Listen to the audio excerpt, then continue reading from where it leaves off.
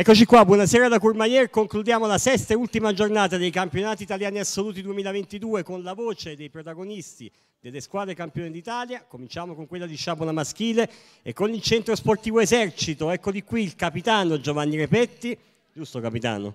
Giusto capitano. L'esperto, a sua volta esperto, vice capitano Gabriele Foschini e il più giovane del team che è Emanuele Nardella. E allora cominciamo dal più giovane, così, così, il capitano poi può valutare anche la sua dialettica e la sua diplomazia in questo caso. Eh, Emanuele, squadra insomma composta da tre atleti intanto, vi mancava Dario Cavaliere, lo diciamo che sarebbe stato evidentemente un rinforzo molto valido, gli inviate il cuore per, per lui che vi guarda da casa e che gara è stata? Che aspettative avevate? Ricordiamo, e poi dopo ti lascio la parola, che è la prima volta che il vostro centro sportivo vince il titolo di sciabola. Quindi sei arrivato, insomma, e hai fatto, hai scritto e contribuito a scrivere con i tuoi compagni una piccola pagina di storia.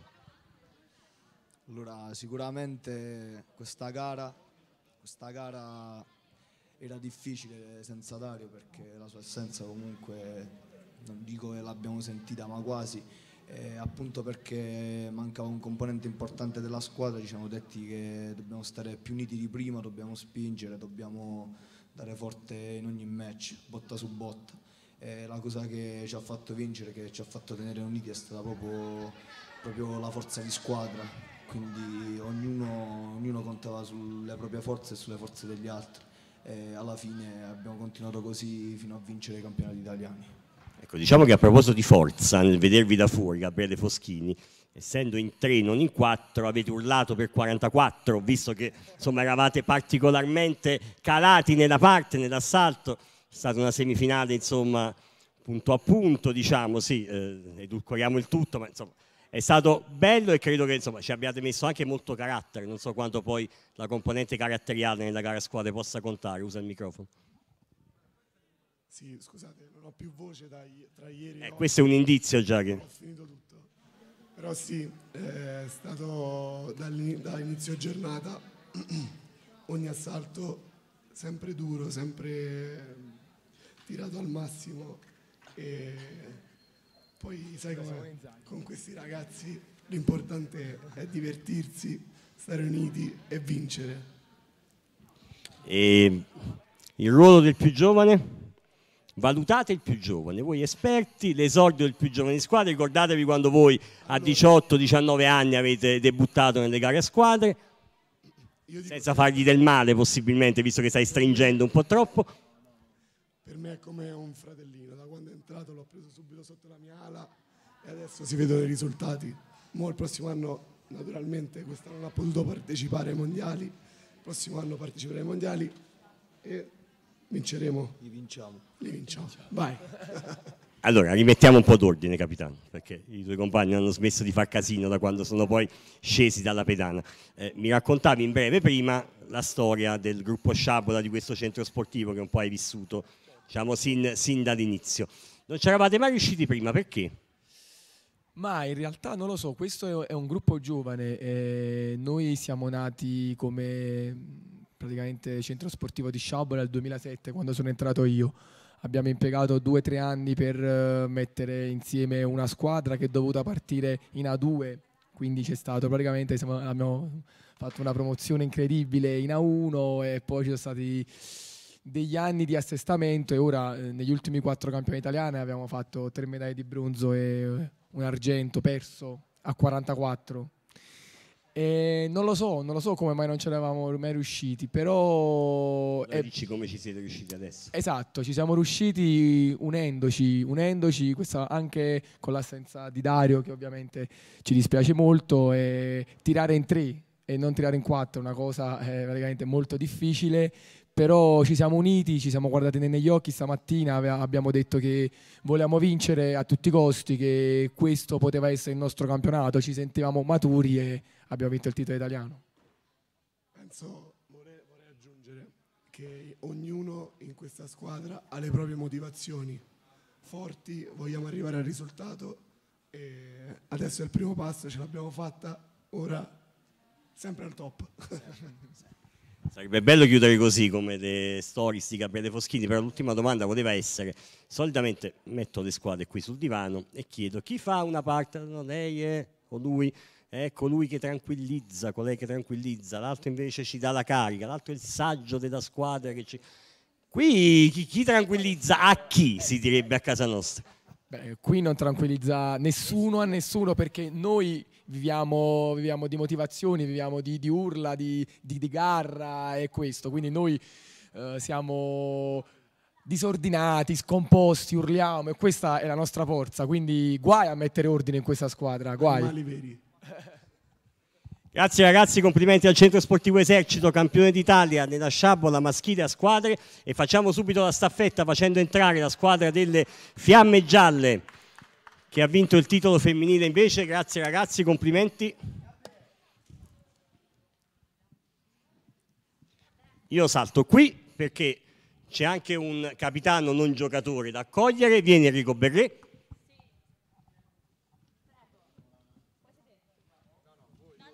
Eccoci qua, disponiamoci, disponiamoci. Oh, cominciamo con il capitano Enrico Berré che ha guidato la squadra delle Fiamme Gialle di Fioretto femminile. Ah, Sciabola femminile, scusate. Era preparata, era fatta apposta perché in questa squadra, allora cominciamo da Rene, perché meno di 24 ore fa abbiamo detto domani c'è la gara squadre, abbiamo una squadra sperimentale, l'abbiamo definita, e pare che l'esperimento insomma non sia andato maluccio tutto sommato. Beatrice era già stata il nostro esperimento qualche anno fa, avevamo già vinto, quindi potremmo, già stata campionessa. L'esperienza consumata, Beatrice. Sì. No, è vero, ci siamo, insomma, le nostre compagne di squadra sono, hanno smesso di fare le atlete l'anno scorso anno, quindi quest'anno dovevamo giocarcela sull'onda dell'entusiasmo. Siamo state squadra perché nonostante i momenti difficili ci siamo sempre sostenute, sempre divertite, devo essere sincera, e penso che questa sia la miglior conclusione di questo campione italiano. Poi devo dire che ho visto nascere questa squadra, no? tanti, l'altro ieri, eh, quando vi allenavate qui dietro e insomma è, è curioso, è bello che, che, vi reinventiate in qualche modo. Sentiamo Beatrice che esperienza consumata, d'accordo, perché avevi già tirato di sciabola, però insomma l'altro giorno quando ti allenavi prendevi un po' le misure come un paio di scarpe che non mettevi da un po' di tempo. Stavamo facendo rifinitura, ecco, semplicemente un po' di rifinitura. No, è stata un'emozione incredibile, cioè non ci crediamo ancora, non ci crediamo ancora. E la cosa incredibile è che ehm, pensavamo comunque, no, vabbè, non è la nostra arma, ci veniamo qua a divertire, però poi quando sei su quelle pedane l'agonismo è, viene fuori, la voglia di vincere viene fuori e mh, siamo maturate durante la giornata perché siamo partiti comunque un po' titubanti, non, magari non convinte al 100%, ma siamo diventate proprio squadra al 100% alla fine. È stato bellissimo. Quindi quando siete arrivati poi in finale a quel punto, avete detto a questo punto la facciamo tutta, facciamo sino in fondo l'impresa. Potevamo soltanto guadagnarci, potevamo soltanto vincere e guadagnarci oppure arrivare seconda e avevamo già fatto un risultato incredibile, quindi ci siamo veramente, veramente divertite tanto. E e poi la squadra proprio ha tenuto sia eh, mentalmente che fisicamente perché oggi ci sono stati un po' di problemi fisici tra tutte però una grinta incredibile grazie ragazze perché è stato bellissimo un po' di problemi fisici, allora andiamo da questa parte. Noi qui abbiamo due bicampionesse, eh, Camilla Mancini l'altro giorno diceva non avevo mai vinto il titolo italiano, mi mancava il titolo assoluto, ne hai 22 addirittura, torni a casa con due titoli, questo di Sciabola che, che sapore ha? Guarda, che ti devo dire, io eh, titolo a squadre non avevo proprio manco vinto mai di Fioretto, quindi cioè, questo Meno male che non ho messo il calendario al contrario, altrimenti... Eh. Cioè, bellissimo, cioè, grazie a tutte e tre perché mi avete fatto vivere la giornata più emozionante dell'anno e ho vinto gli italiani individuali, quindi pensate un po' quanto mi sono divertita. No, bellissimo, cioè, troppo entusiasmante. E questa giovane compagna invece? che avete caricato di responsabilità in un modo enorme, l'avete buttata lì, adesso vai, vai, vai. È stata bravissima, era zoppa, è piccola e comunque sia si è andata a scontrare con una squadra, anche quelle prima, ma specialmente la polizia che ha tutte atlete molto mature, che poi eh, tra l'altro parteciperanno anche ai mondiali e, e ha tenuto botta benissimo, ci ha avuto proprio due scatole così sotto enormi. Bravissima, bravissima. Come me l'hai presentata? Zoppa piccola con le scatole e con gli occhi azzurri. Vieni, Benedetta Fusetti. Eh, bene, qualche giorno fa hai vinto il titolo Under 20. Sì. Quindi hai fatto il viaggio Sicilia, Val d'Aosta e questa squadra invece, il capitano, sentiamo anche il capitano. Se ti ha- Il capitano veramente ci ha aiutato tantissimo, ma ringrazio tutte e tre che mi hanno fatto vivere una bellissima emozione, veramente, e sono felicissima, davvero. Una giovane, bravissima sciabolatrice che ha quanti anni in meno, dicevi l'altro giorno? Fatelo dire da lei, vai. 12. 12 anni. Eh, vabbè. Due fiorettiste, capitando in lungo corso, ma questa squadra non sarebbe mai arrivata dove è arrivata se non avesse avuto la sua guida spirituale a fondo pedana. Chiedevamo, scusate, chi microfoniamo a fondo pedana per le fiammeggiate? Enrico Berri. Benvenuto Enrico Berri. Grazie mille. Non potevi essere un turista da Montebianco qui a Courmayeur, ma volevi evidentemente recitare la tua parte. Quando hai visto questa squadra, che cosa, che cosa gli hai detto? Io non ho mai avuto dubbi, sinceramente. Cioè, allora, parliamoci chiaramente. Campionessa italiana, campionessa italiana under 20, campionessa italiana di Fioretto e lei di Sciabola già è stata campionessa italiana a squadre. Siamo i favoriti sì o no? Mi sembra evidente, eh, avessi avuto 100 euro qui te l'avrei messi subito. Però non, non è bello scommettere. Detto ciò, eh, diciamo che quando c'è stato quel piccolo infortunio a Benny, i nostri sguardi non erano poi così convintissimi. Poi ci siamo ricaricati insieme, le ragazze mi hanno fatto veramente divertire.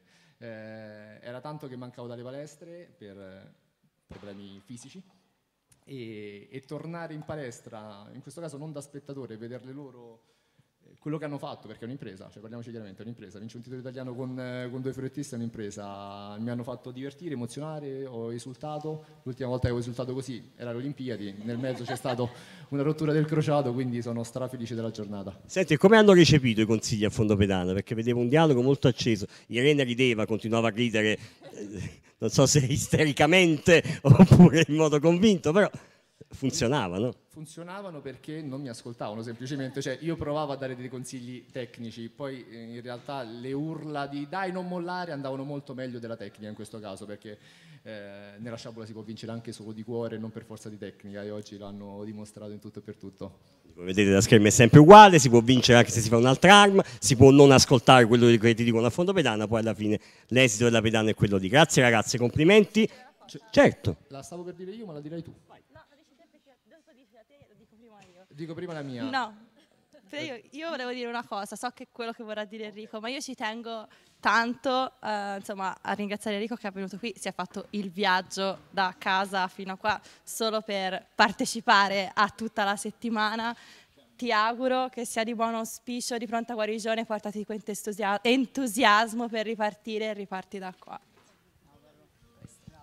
poi non è che ti stanno aspettando gli altri, non ti ha mai nominato nessuno in questo periodo. Eh, In realtà aveva il biglietto dello Skyway in tasca, pensava oggi di andarlo a vedere, gli avete rovinato la se- Prego. No, eh, grazie. Eh, no- non è stato un un periodo facilissimo, questo mi ha dato tanto, tanto entusiasmo che, eh, che a volte il monitor per vedere i miei amici, non- i miei compagni di squadra non, non trasmette. Ulteriore cosa era l'ultimissima stoccata che il nostro maresciallo storico vedeva e quindi penso questo, come ho già definito, eh, miracolo, forse uso una parola forte, sportivo sia il degno riconoscimento di quello che per tutti noi e per i ragazzi che sono stati sotto la sua guida si merita come conclusione. Quindi grazie davvero di tutto, capo. Chiudiamo così, io ringrazio voi per aver avuto la pazienza di aspettare fino alla fine, ringrazio quanti ci hanno seguito in questi sei lunghi giorni degli assoluti 2022, Corrado, Giuseppe per le immagini, la regia, Marta Mulete d'ufficio stampa, Giacomo Di Giulio per il commento, Luca Magni per il commento, ultimo non per ultimo Augusto Bizzi per averci raccontato con le sue foto le emozioni di questi sei giorni, ci vediamo da venerdì a Macerata, tu pensi che sia finita, ci vediamo a Macerata per i campionati italiani paralimpici 2022, per chi vorrà appuntamento a venerdì, grazie e buona serata da Courmayeur.